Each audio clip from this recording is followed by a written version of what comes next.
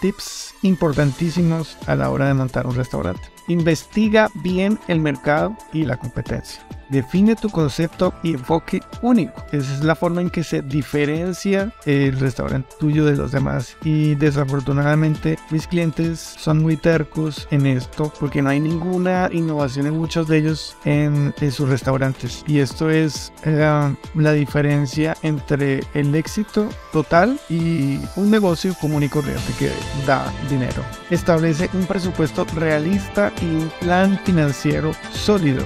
También he visto en muchos de mis clientes en el pasado que con suerte les fue bien, pero batallaron mucho con el tema del el presupuesto en la medida en que arrancaron no de la mejor forma en la presentación, en, en mobiliario. Todo es bien importante. Casi que es preferible empezar pequeño, pero con todo bien, que hacer una cosa muy grande, pero con todo chueco.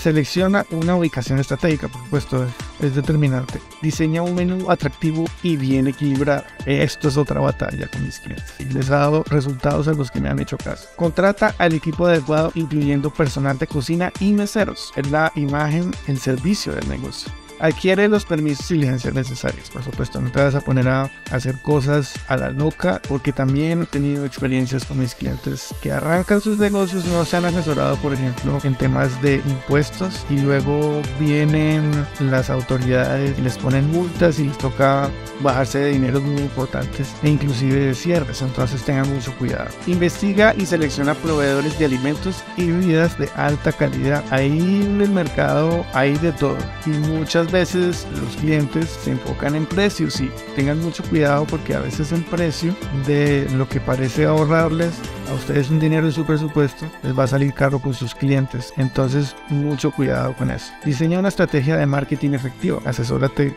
muy bien de cómo hacerlo. Es la mitad de un negocio. Lo que no se promociona no se vende. Realiza una prueba de operaciones antes de abrir al público. Esto ha pasado N veces y abrir sin haber hecho estas pruebas es que son subestimados muchas veces los primeros clientes y se vuelven el voz a voz a favor o en contra de los negocios. Esto puede ser una jugada muy complicada, así que tengan mucho cuidado, háganlo bien y cuando hagan su presupuesto establezcan el tiempo de la preparación que son estas pruebas como parte de lo que deben hacer antes de abrir. Aquí les dejo estos tips.